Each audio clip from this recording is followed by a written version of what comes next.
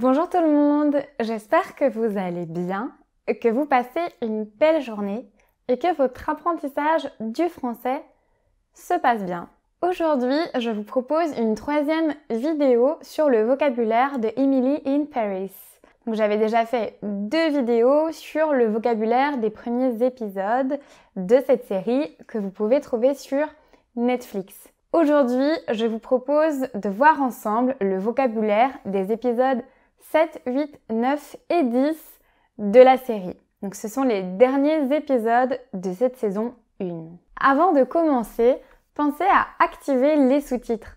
Ça sera plus facile pour vous de comprendre la vidéo et surtout, vous allez mieux retenir le vocabulaire que nous allons voir. Si vous êtes nouveau ou nouvelle sur la chaîne, pensez aussi à vous abonner pour ne manquer aucune vidéo. Commençons tout de suite avec l'épisode 7 qui s'appelle French Ending. Au début de l'épisode, on voit Emily et Sylvie, sa boss, en train de parler d'un événement. Emily veut absolument participer à l'organisation de l'événement et insiste beaucoup. Finalement, Sylvie va lui dire qu'elle peut s'occuper de la star américaine qui vient, donc être sa nounou. Elle va dire très bien. Quand on dit très bien en français, c'est une autre manière de dire oui, d'accord. Donc elle lui dit très bien, fais ça. Très bien, occupe-toi de cette star américaine. On entend ensuite euh, quand euh, Emily, Camille et Mindy sont au restaurant de Gabriel, Camille va dire à Gabriel Tu travailles trop, chérie. Chérie, en français, c'est un surnom affectueux. On avait déjà vu mon amour dans un autre épisode. Mon chéri, c'est la même chose. Pour un garçon, on dit mon chéri.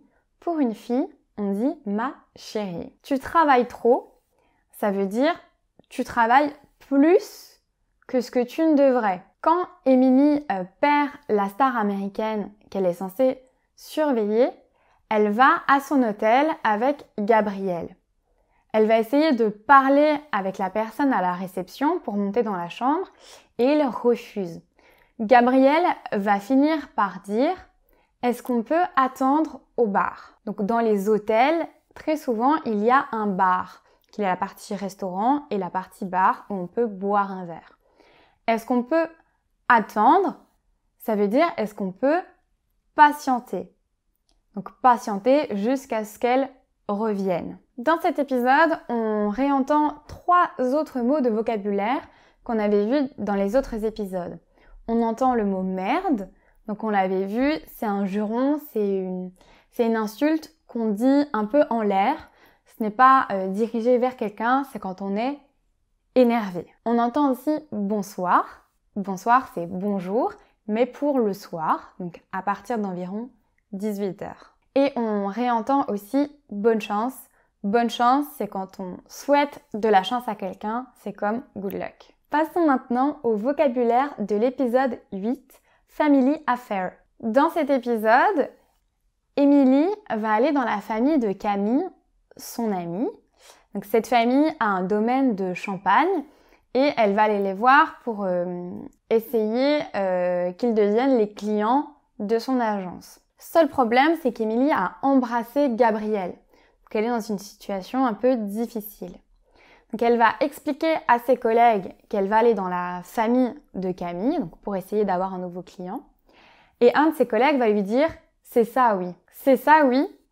Euh, c'est une expression qu'on utilise de manière ironique. Donc l'ironie en français, c'est euh, on va dire l'inverse de ce qu'on pense vraiment, donc l'opposé un peu pour se moquer. Donc quand il lui dit c'est ça oui, c'est juste pour euh, avoir des nouveaux clients. Il se moque d'elle, il ne la croit pas. Donc il utilise cette expression pour lui montrer qu'il ne la croit pas et qu'il se moque un peu d'elle. Quand euh, Émilie, Camille et Gabriel arrivent dans la famille de Camille, Camille va dire maman. Donc elle parle à sa mère.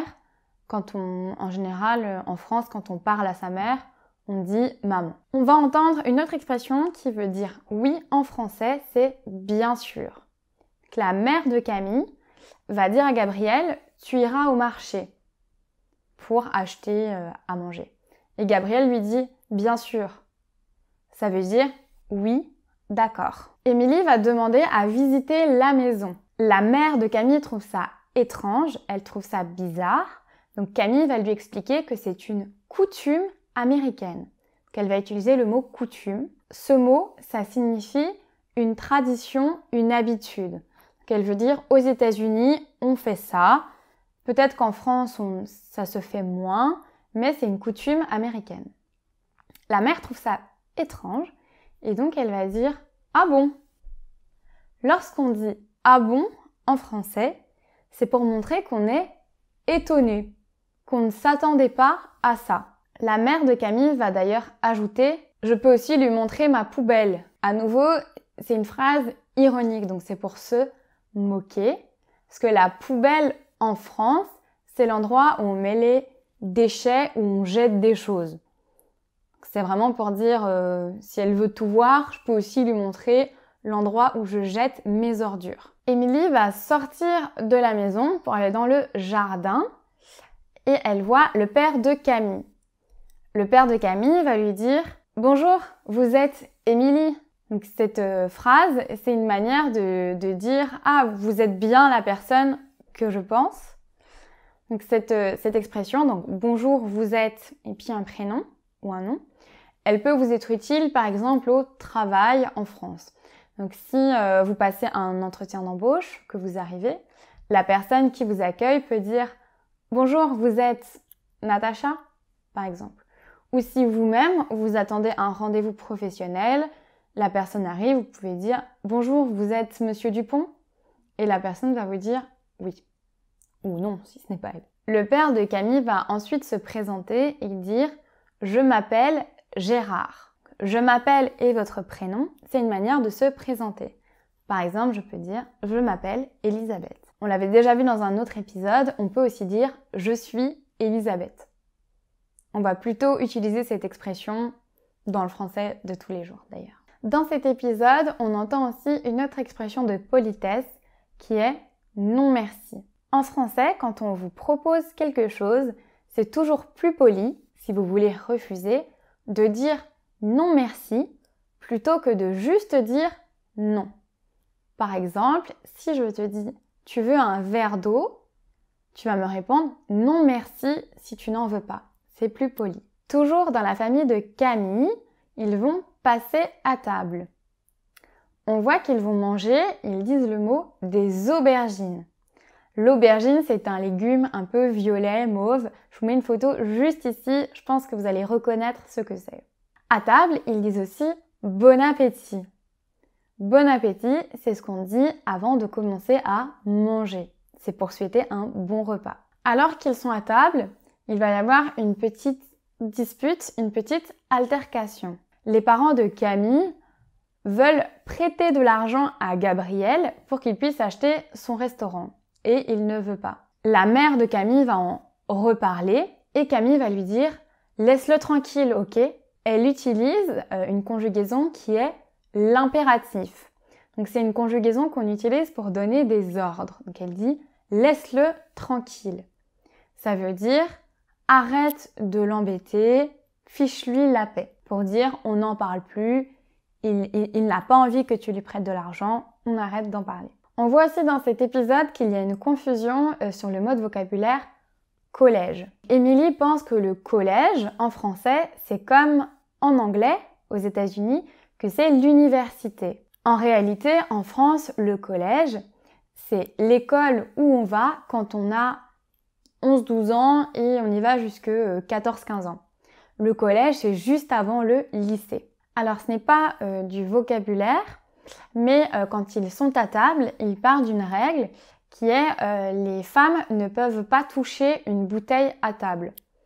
Donc ils donnent cette règle. Moi, je ne l'ai jamais entendue. Elle existe, elle n'existe pas en France. Je pense qu'elle a été inventée pour la série. Il y a autre chose. C'est vrai que dans quasiment tous les épisodes, même plusieurs fois par épisode, les hommes font des baisements aux femmes. Donc ils embrassent leurs mains.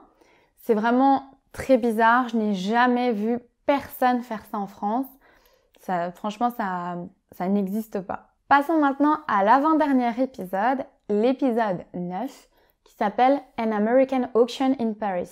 Au début de l'épisode, on voit Emily avec une américaine, une dame qui euh, s'occupe d'une association. Et elles vont euh, manger ensemble au restaurant et cette femme va dire très bien. Donc on l'avait vu dans euh, l'épisode 7, très bien. C'est une manière de dire d'accord, parfait, faisons comme ça.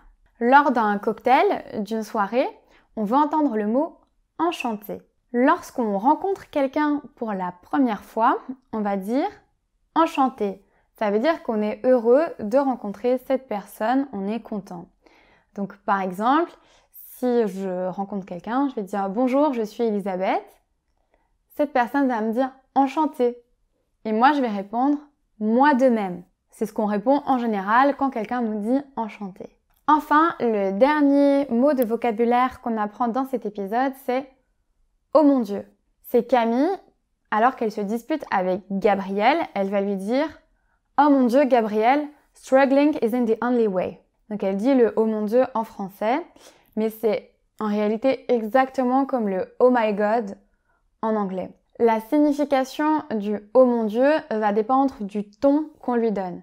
On peut dire Oh mon Dieu parce qu'on est surpris. Par exemple, je peux dire Oh mon Dieu, je ne m'attendais pas à te croiser. On peut dire Oh mon Dieu parce qu'on est énervé, donc comme Camille, quand elle dit Oh mon Dieu, Gabriel. Ou alors on peut dire Oh mon Dieu parce qu'on est très heureux. Genre Oh mon Dieu, je ne m'attendais pas euh, un tel cadeau pour mon anniversaire. Passons maintenant au dixième épisode, le dernier épisode de cette première saison, qui s'appelle Cancel Couture. Au début de l'épisode, Emily et son amie Mindy sont à une terrasse de café et autour d'elle, il y a beaucoup de monde, il y a énormément de personnes qui attendent pour prendre leur place. C'est la Fashion Week à Paris, donc c'est vrai que c'est une période où il y a beaucoup de gens. Mindy va leur dire on n'a pas encore commandé. C'est une manière de, le dire, de leur dire euh, partez, on, reste ici encore pour un petit moment. Donc on n'a pas encore commandé, ça veut dire qu'elle n'a pas encore demander au serveur ce qu'elle voulait boire ou manger. Quand Emily part, Mindy reste là et quelqu'un s'assied directement. Elle va lui dire Je suis encore assise là pour dire je ne suis pas partie. Donc assise, ça veut dire qu'elle est sur la chaise. Donc c'est une manière de dire je, ne pars pas tout de suite. Dans l'épisode, on voit aussi quelqu'un décrocher son téléphone et dire Allô. Allô, c'est ce qu'on dit en français quand on décroche son téléphone. Euh, dans cet épisode, euh, le styliste Pierre Cadeau veut annuler euh, son défilé de mode. Et son neveu dit qu'il veut annuler et qu'il crie partout ringarde. On l'avait vu dans un autre épisode, ringard pour un garçon ou ringarde pour une fille. On l'utilise pour parler de quelqu'un qui est démodé, qui est old fashion, qui ne s'habille pas à la mode. Émilie va essayer euh, de convaincre euh, Pierre Cadeau de quand même faire son défilé. Donc elle va aller chez lui et il va dire elle est arrivée. Elle est arrivée, ça veut dire elle est là. Donc Émilie est là. Ils vont ensuite avoir un petit dialogue où elle dit bonjour Pierre, comment ça va? Et il répond très bien. Donc on, a déjà vu ce, mot de vocabulaire. Ça veut dire euh, parfait, tout va bien.